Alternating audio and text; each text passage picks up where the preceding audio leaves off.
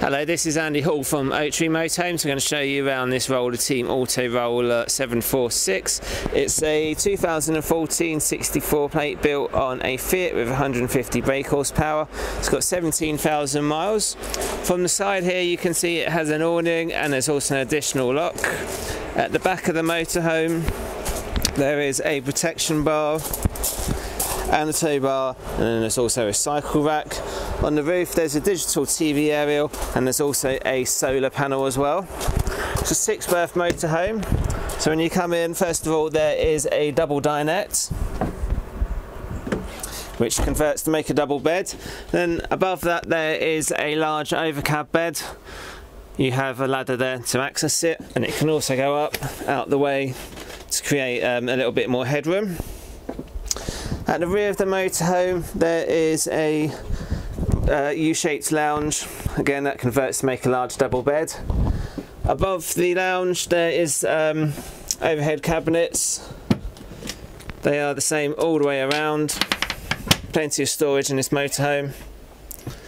And they're at the front as well.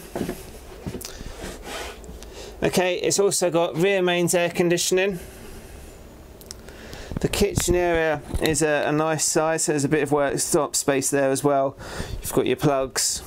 There's a gas burner on top. Then next to that there's a sink. Below there is a oven and grill. And then you also have a fridge freezer with a freezer section at the top. The washroom has a full separate shower. You've got your wash basin in there as well, keeping the floor wet where the uh, toilet is obviously cassette toilet and then there's a large mirror in there as well. I'm not sure if I mentioned it earlier but it has six seat belts. Got Truma heating and hot water system as well. Oh no, sorry, Webasto uh, heating and hot water, apologies.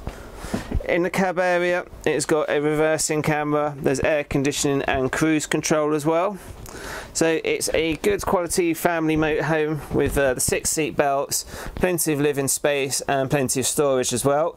So if you're interested in viewing this motorhome, you can contact us on 0115 930 3140.